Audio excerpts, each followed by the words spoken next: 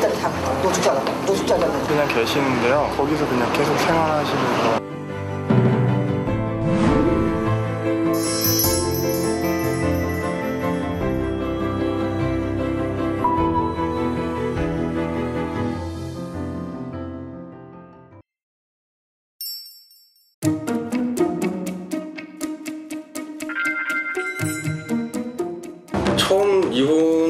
될 때부터 말소됐다라는 것만 나왔고 그래서 이제 행위 무용고자를 이제 처리하려고 했는데 와서 보니까 이제 직원들이 아 화면에 와서 보는 것 같다.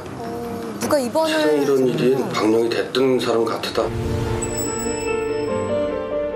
그래서 고려대학에서 뵌 중강을 중강 할머니라고 중강 할머니라고 그렇게 네.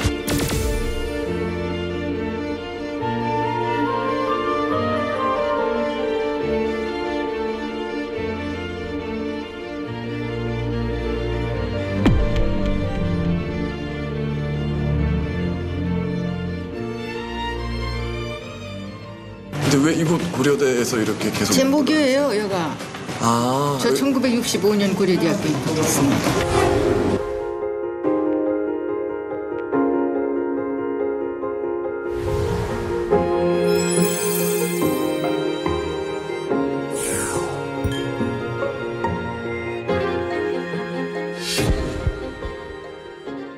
항상 여기서 이제 밤을 새신다는 얘기를 들었는데요. 그럼 어리- 여- 여러 가지 주어진 의식주에 어려움이 있습니다. 요거는 요 터치 합시다. 잉?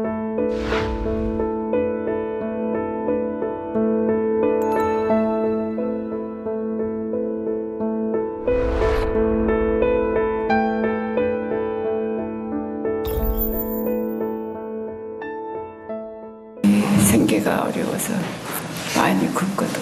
굶고 고려대에서 화장실 갔다가 한번 쓰러져 버렸어요.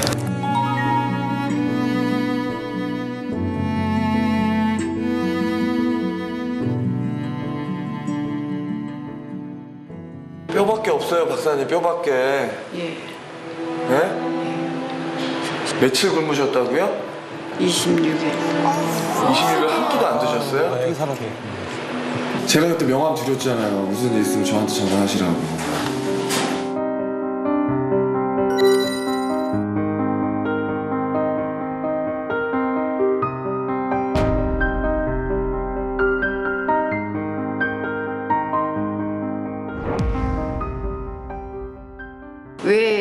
우주가 탄생하게 되었는지, 그리고 이 우주는 왜 계속 반복을 하고 있으며, 그 종말은 어떻게 되어 갈는지, 이것 한번 규명하고 싶습니다.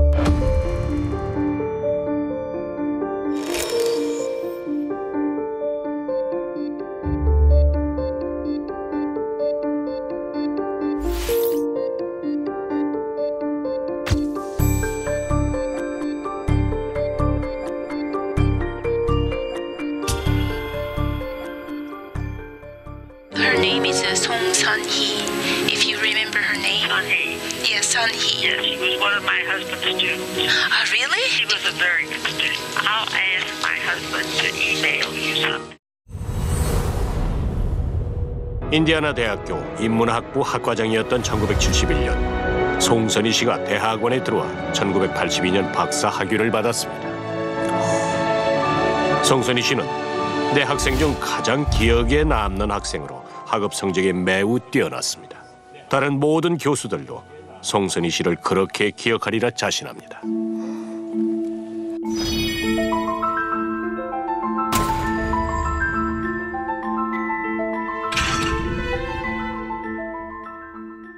남자들이 뭐든지 우월하다고 하는 그런 세상이었기 때문에 남자인 상사보다 어, 밑에 있는 송선희 씨가 더 똑똑하고 그야말로 잘 나가니까 수기심도 많았을 거란 말이에요.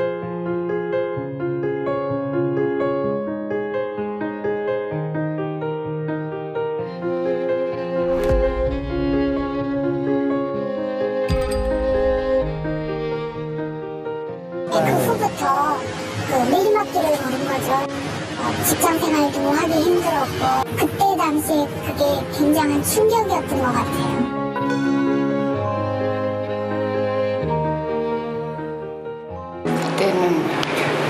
나이도 청춘이고 또 박사하기도 하고 다 세상에 다, 다 로즈가 됨처럼 보였던 그런 때가 인생에 한두 번씩은 있는 겁니다. 이제 박사학위 땄으니까 나는 뭐가 돼야 되겠다 이런 생각을 하셨어요? 학자로 한번 성공해 보려고 했는데 다 잘 될 줄 알았지 모든 게 그렇게 인생이 굴곡이 많고 어려움이 있으리라고 상상을 못했다. 상상을 못했다. 2001년 2001년에 오셨어요? 2001년 8월 하순에 왔습니다. 어디 계시다가 오셨어요? 거기 파주에 한 6, 7개월 있다가 어머니 돌아가시고 음. 그러다가 어머니가 이렇게 돌아가시고 그러니까 여기 데가 없으니까 급히 여기가 진짜 몇 군데 돌아다니까 안 되겠어요. 목욕 고려대학교를 왔는데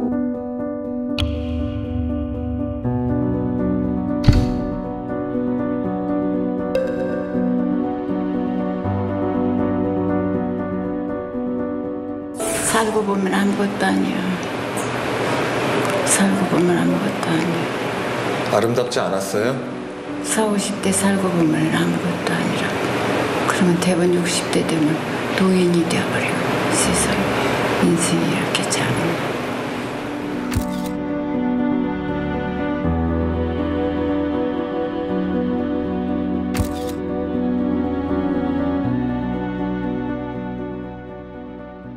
나도 저런 시절이 있었는데 하다 말았지? 내일은 이미 끝난 인생.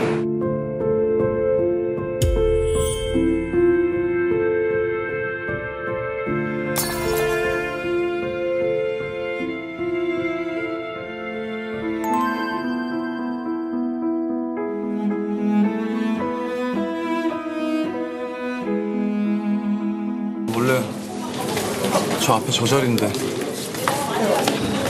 다른 학생이 앉아있다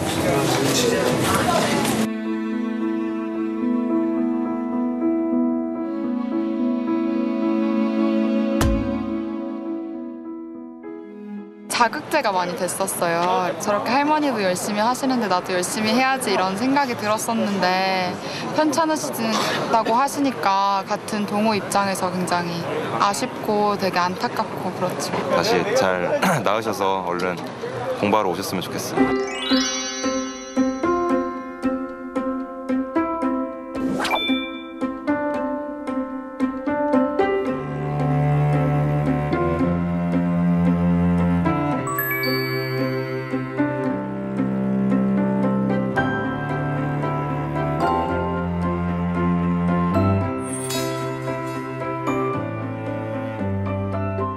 아유. 후배들이요? 아이고 세상에. 후배들이 우리 송 박사님 빨리 쾌차하시라고 이렇게 글을 좀 적었어요.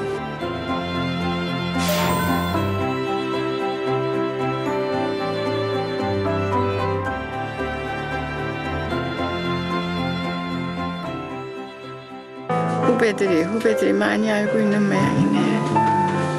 그럼요. 10년을 계셨는데 10년이 작은 세월이 아니야